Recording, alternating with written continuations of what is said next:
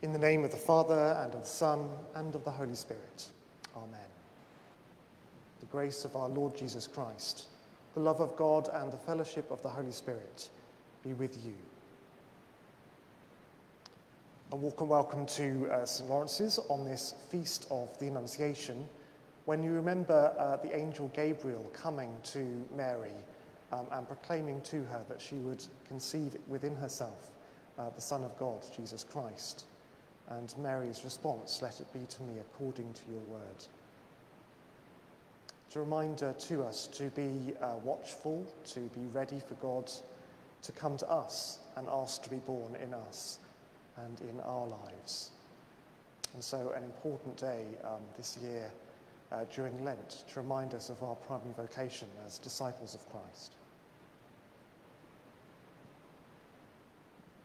Grace of God has dawned upon the world through our Saviour Jesus Christ, who sacrificed himself for us to purify a people as his own.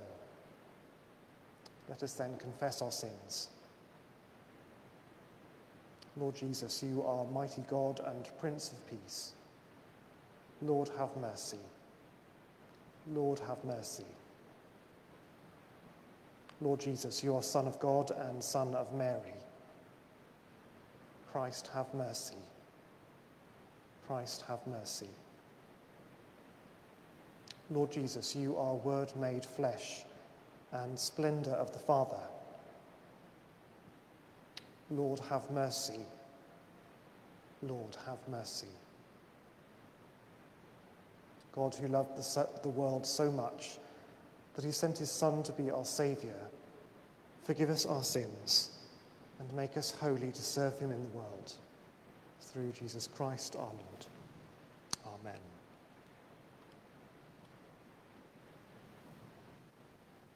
Glory to God in the highest, and peace to his people on earth. Lord God, Heavenly King, Almighty God and Father, we worship you, we give you thanks, we praise you for your glory. Lord Jesus Christ, only Son of the Father, Lord God, Lamb of God, you take away the sin of the world.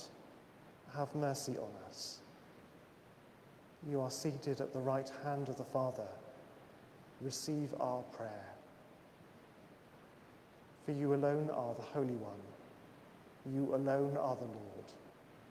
You alone are the Most High, Jesus Christ, with the Holy Spirit in the glory of God the Father. Amen. We come before God in prayer and praise, and in the quiet, we wait on God's Holy Spirit.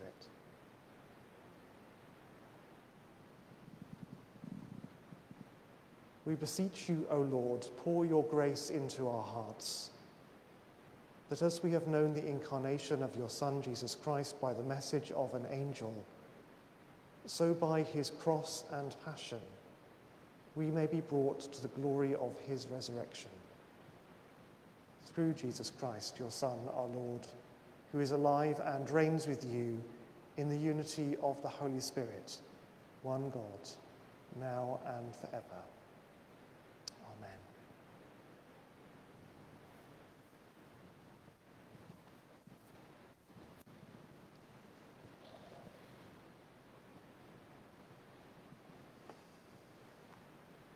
Reading from the prophecy of Isaiah. The Lord spoke to Ahaz, saying, Ask a sign of the Lord your God. Let it be deep as Sheol or high as heaven. But Ahaz said, I will not ask, and I will not put the Lord to the test. Then Isaiah said, Hear then, O house of David, is it too little for you to weary mortals that you weary my God also? Therefore, the Lord himself will give you a sign. Look, the young woman is with child and shall bear a son, and you shall name him Emmanuel This is the word of the Lord. Thanks be to God. The response to the psalm is We have come to do your will, O God. We have come to do your will, O God. Great are the wonders you have done, O Lord my God. How great your designs for us. There is none that could be compared with you. We have come to do your will, O God. If I were to proclaim them and tell of them, they would be more than I am able to express. Sacrifice and offering you do not desire, but my ears you have opened. We have come to do your will, O God. Burnt offering and sacrifice for sin you have not required. Then said I, Lo, I come. In the scroll of the book it is written of me that I should do your will, O my God. I delight to do it. Your law is within my heart. We have come to do your will, O God. I have declared your righteousness in the great congregation. Behold, I did not restrain my lips, and that, O Lord, you know. We have come to do your will, O God.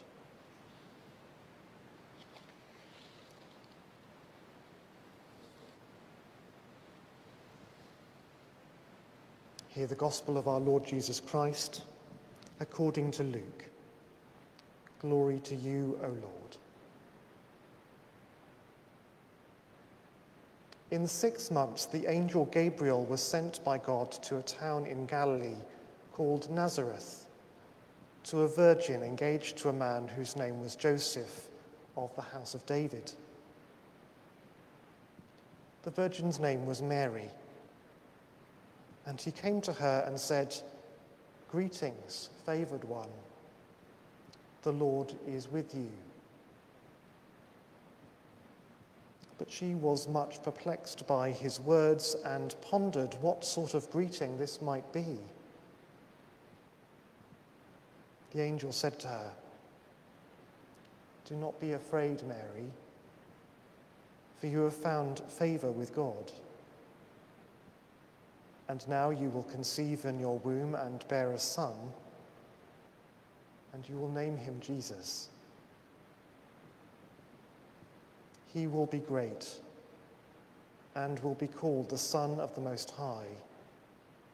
And the Lord God will give to him the throne of his ancestor, David.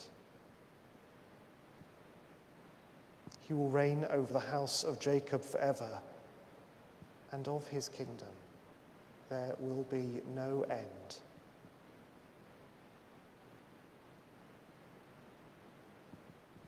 Mary said to the angel, How can this be, since I am a virgin? The angel said to her, The Holy Spirit will come upon you, and the power of the Most High will overshadow you. Therefore, the child to be born will be holy. He will be called Son of God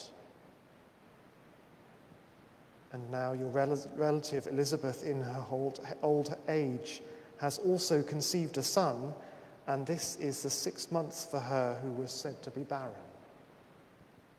For nothing will be impossible with God. Then Mary said, Here am I, the servant of the Lord. Let it be to me according to your word.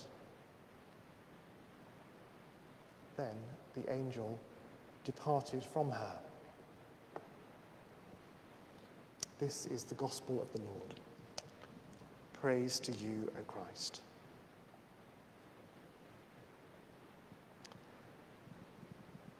I'm using a sleep app to monitor my sleep patterns at the moment.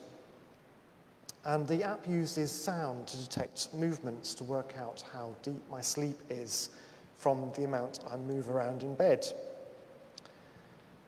When I woke up this morning, I was surprised at um, the recordings. There were a series of recordings on the sleep uh, monitor uh, of the sounds which happen uh, during the night, whether that's of, of snoring or sleep talking or other things.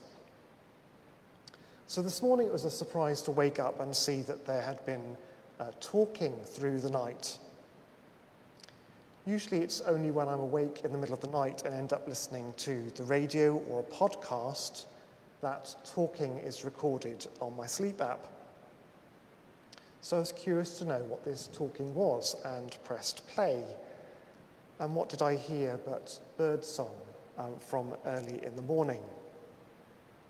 And with that uh, birdsong, I was transported back to this time last year and to the lockdown and the bird song that was dominant then. The roads were quiet and nature seemed large and loud, um, almost as if nature was enjoying a recovery or resurgence as life went quiet with the beginning of lockdown. We became sensitive to different patterns happening around us that we hadn't noticed for a while. On this feast of the Annunciation, we remember Gabriel going to Mary to announce that she would bear Jesus. And we recall Mary's yes, yes, let it be to me according to your word. If we attend to this moment, there's a twofold miracle. One is Mary being attentive to and responding to the divine will. The other is God achieving the miraculous as God enters into human experience by conception. But it poses a question for us. How do we quiet our own lives to hear the bird song of God's call to us? We can start by remembering Mary at the Annunciation. Her life was not quiet or simple or easy. She was a girl in puberty. She was betrothed to be married to Joseph. She may or may not have been worldly wise, but she was ready to come aside and listen when she was called to do so. So I suggest it's as simple as asking, asking God, how do you want to be born in us today? How does God want to make himself present in us? And by being present in us, then present in the world. For Mary, as for us, responding to that call responding to God's desire to be born in us is a path of sacrifice and a path of joy. So I ask you to take a moment to notice how God has been talking to you. Have you been sensitive to God's pattern in your life underneath all the noise? Or perhaps like me this morning, you've been sleeping through it or tuned out. Mary reminds us this day that God wants born in each of us. And so she provides an inspiration for us today to stop, to listen for the voice of God, and to ask His will, so that we may also say, Let it be to me according to your word.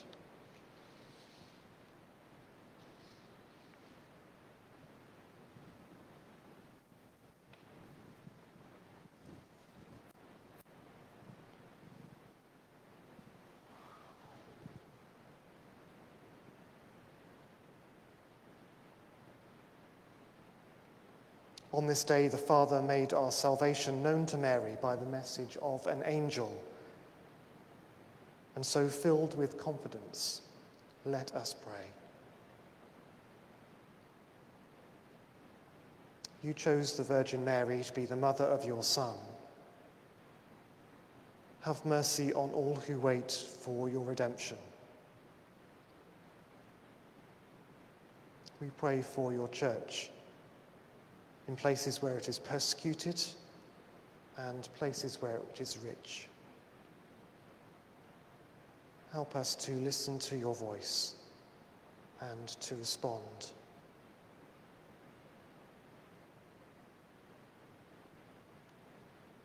Through your angel Gabriel, you brought a message of peace and joy to Mary. Give to the world the joy and peace of salvation. We pray for those in situations of conflict and violence.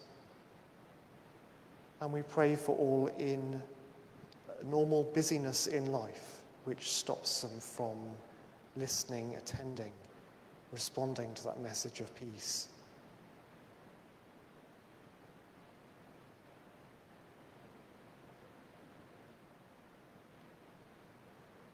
By the consent of your handmaid and the power of the Holy Spirit, your word came to dwell among us. Open our hearts to receive Christ as Mary the Virgin received him. we pray for this congregation, for those listening and watching this service online, for those at work or at school or with other commitments. Help us to be ready to turn aside and hear your word to us.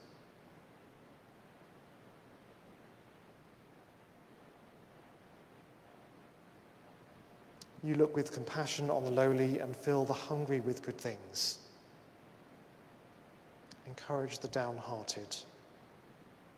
Help all those in need and comfort those near to death. We pray for all we know who are unwell at this time. We pray for those who are lonely. And we pray for those who, are, who have little for themselves.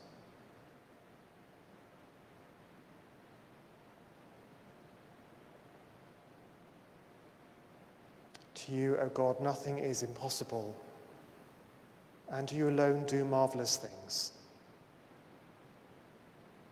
Save us and bring us on the last day with the Blessed Virgin Mary, St. Lawrence, and all the saints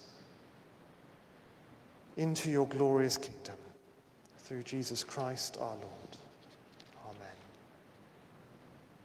Grant, O God, that by the riches of your grace we may grow up into him who unites our life with yours, even he who is the firstborn of all creation, your Son, Jesus Christ our Lord.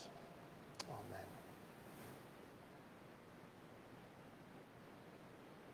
And so we come to the peace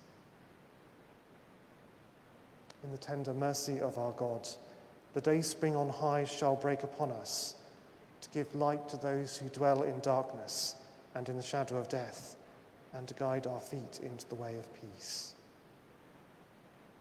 The peace of the Lord be always with you.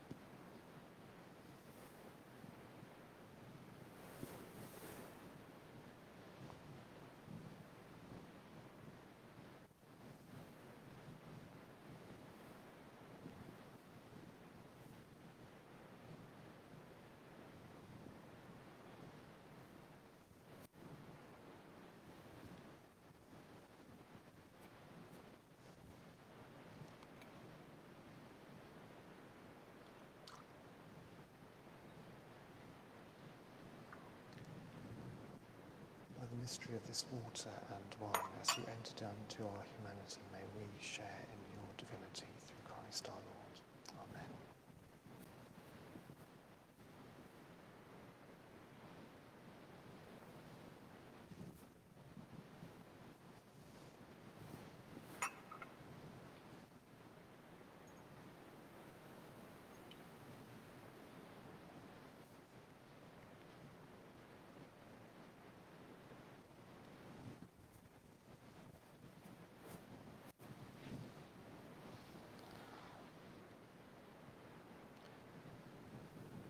Almighty God, so fill us with your grace that we may accept your holy will, and with the Virgin Mary, full of grace, rejoice in your salvation through Jesus Christ our Lord.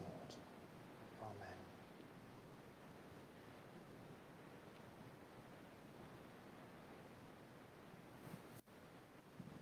The Lord be with you. Lift up your hearts. Let us give thanks to the Lord our God.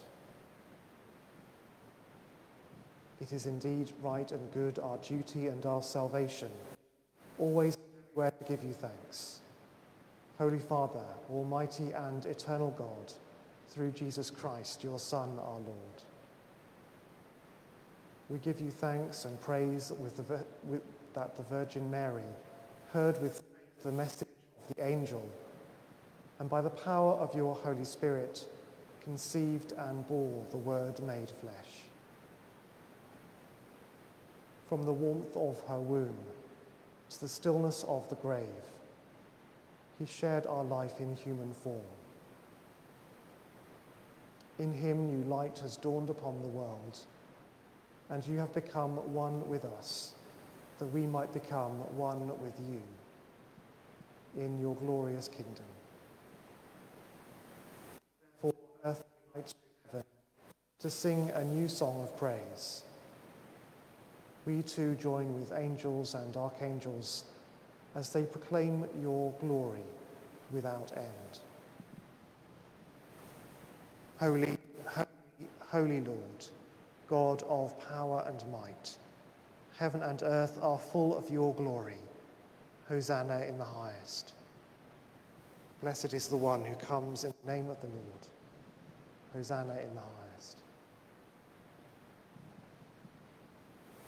We praise and bless you, loving Father, through Jesus Christ our Lord. And as we obey his command, send your Holy Spirit, that broken bread and wine outpoured may be for us the body and blood of your dear Son. On the night before he died, he had supper with his friends, and taking bread, he praised you he broke the bread, gave it to them, and said, Take, eat. This is my body, which is given for you. Do this in remembrance of me.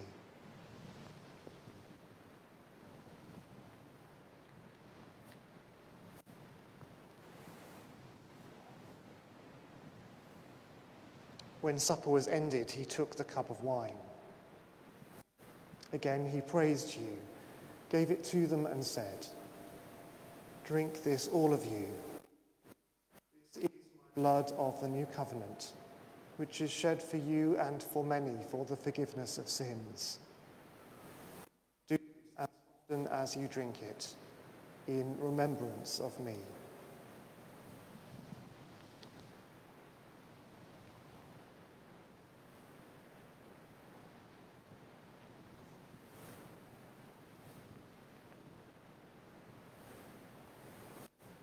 So, Father, we remember all that Jesus did. In him we plead with confidence his sacrifice made once for all upon the cross. Bringing before you the bread of life and cup of our salvation, we proclaim his death and resurrection until he comes in glory. Great is the mystery of faith. Christ has died, Christ is risen. Christ will come again.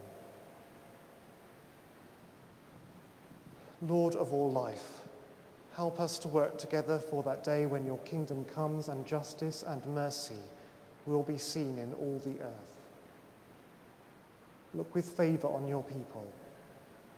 Gather us in your loving arms and bring us with the Blessed Virgin Mary, St. Lawrence, and all the saints to feast at your table in heaven. Through Christ and with Christ and in Christ, in the unity of the Holy Spirit, all honour and glory be yours, Almighty Father, forever and ever. Amen.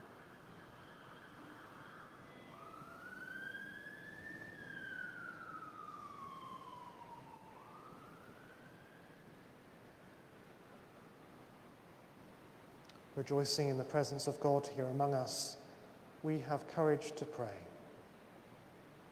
Our Father, who art in heaven, hallowed be thy name. Thy kingdom come, thy will be done, on earth as it is in heaven. Give us this day our daily bread, and forgive us our trespasses, as we forgive those who trespass against us.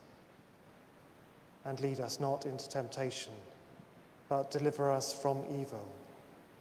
For thine is the kingdom, the power, and the glory, forever and ever. Amen.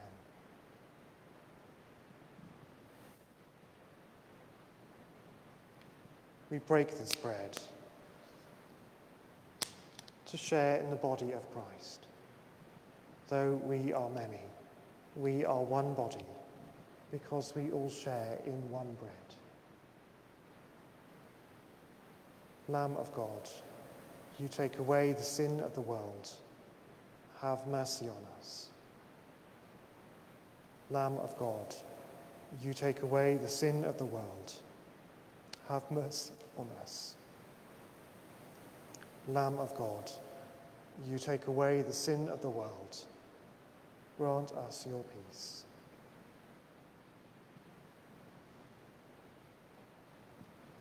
God's holy gifts for God's holy people. Jesus Christ is holy. Jesus Christ is Lord, to the glory of God the Father.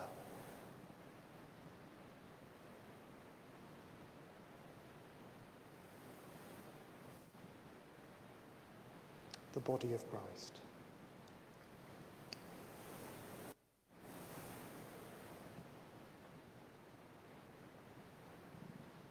The blood of Christ.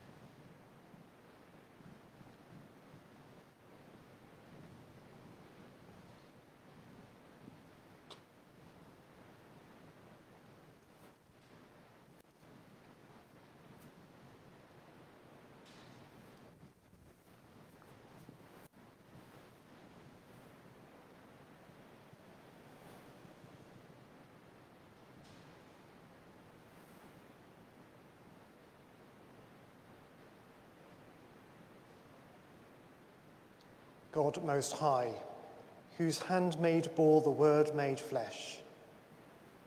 We thank you that in this sacrament of our redemption, you visit us with your Holy Spirit and overshadow us by your power. Strengthen us to walk with Mary the joyful path of obedience and to bring forth the fruits of holiness through Jesus Christ our Lord.